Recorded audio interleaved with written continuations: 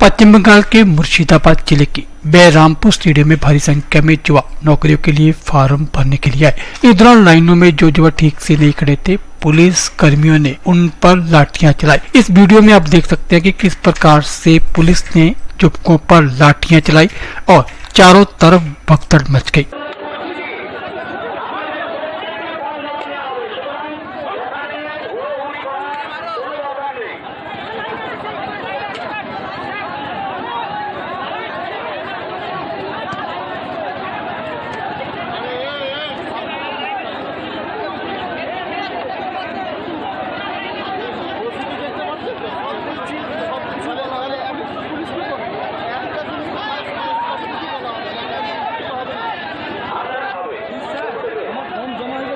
দেবে না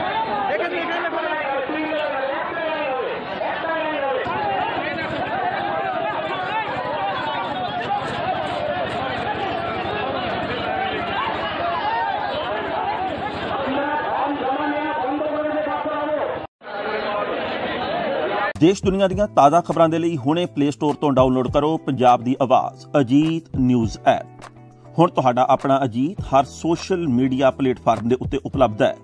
ਫੇਸਬੁੱਕ ਦੇ ਉੱਤੇ ਹੁਣੇ ਲਾਈਕ ਤੇ ਫੋਲੋ ਕਰੋ ਅਜੀਤ ਦਾ ਅਫੀਸ਼ੀਅਲ ਪੇਜ ਡੇਲੀ ਅਜੀਤ ਤੇ ਹਾਂ, ਨਾਲ ਹੀ ਦੋਸਤਾਂ ਨੂੰ ਪੇਜ ਲਾਈਕ ਕਰਨ ਦੇ ਲਈ ਇਨਵਾਈਟ ਕਰਨਾ ਨਾ ਭੁੱਲਣਾ।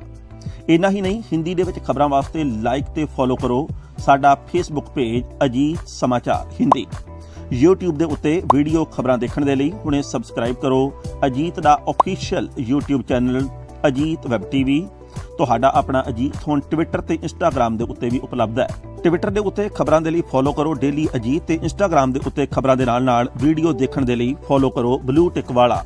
ਸਾਡਾ ਅਫੀਸ਼ੀਅਲ ਚੈਨਲ ਡੇਲੀ ਅਜੀਤ ਇਹਨਾਂ ਹੀ ਨਹੀਂ, ਅਜੀਤ ਦੇ ਵੀਡੀਓ ਹੁਣ ਤੁਸੀਂ Apple TV ਦੇ ਉੱਤੇ ਵੀ ਵੇਖ ਸਕਦੇ ਹੋ। ਤੇ ਨਾਲ ਹੀ ਅਜੀਤ ਅਖਬਾਰ ਦਾ ਡਿਜੀਟਲ ਐਡੀਸ਼ਨ ਪੜ੍ਹਨ ਦੇ ਲਈ ਡਾਊਨਲੋਡ ਕਰੋ ਅਜੀਤ ਈ-ਪੇਪਰ ਐਪ ਤੁਹਾਡਾ ਆਪਣਾ ਭਰੋਸੇਯੋਗ ਚੈਨਲ ਤੁਹਾਡੀ ਆਪਣੀ ਆਵਾਜ਼, ਪੰਜਾਬ ਦੀ ਆਵਾਜ਼, ਅਜੀਤ।